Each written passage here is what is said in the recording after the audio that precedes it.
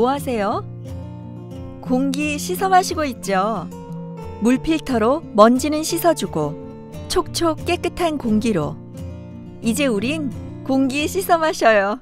벤타 에어워셔